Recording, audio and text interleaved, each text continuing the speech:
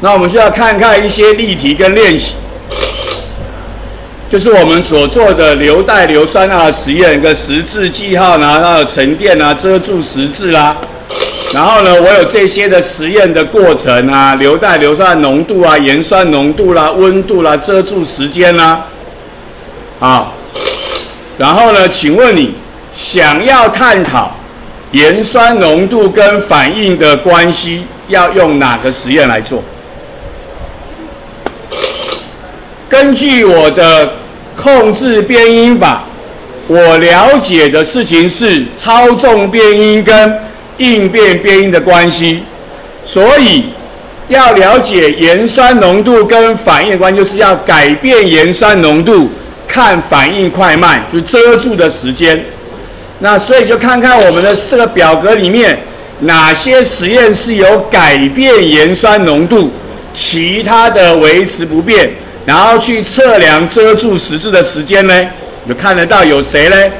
甲乙是盐酸浓度一样，然后丙丁不一样，所以我们要改变盐酸浓度，其他条件不变。根据这里所显示的，就是乙丙丁或者是甲丙丁的盐酸浓度不同，所以呢，我们就选择乙丙，我们就选择乙丙，所以答案选 B，可以吗？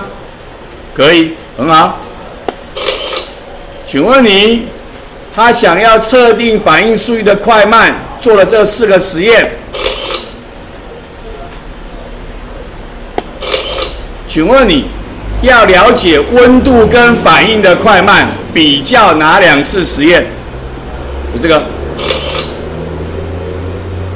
根据刚才的讲法，就表示你要改变温度，其他的不变。那这里边。哪个怎样的实验是有改变温度呢？改变温度呢，可以让你去了解实验的结果呢？韩天宇，猪，这实验里面的甲、乙、丙的温度都一样，只有丁跟别人不一样，所以甲丁可以，乙丁可以，丙丁也可以。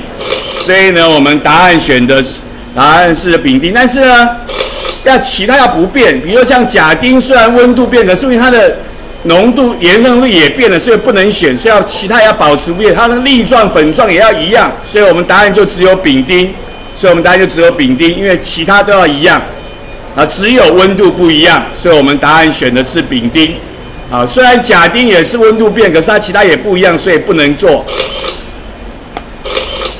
那乘上题比较乙丙可以得到什么关系？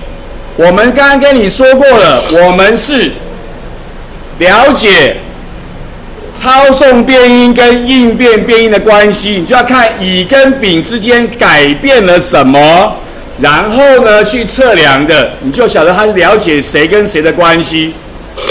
所以乙丙两次实验，乙丙两次实验，我了解了谁的关系？郑元斌，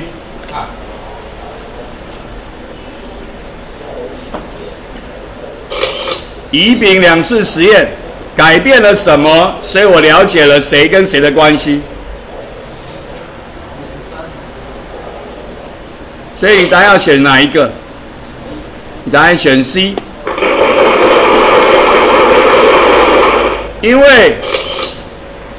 乙丙的实验就是只有改变盐酸浓度，所以你了解的是盐酸浓度跟其的关系。这就是我们的控制变音法，这个在学测考过很多遍，就刚刚讲过了。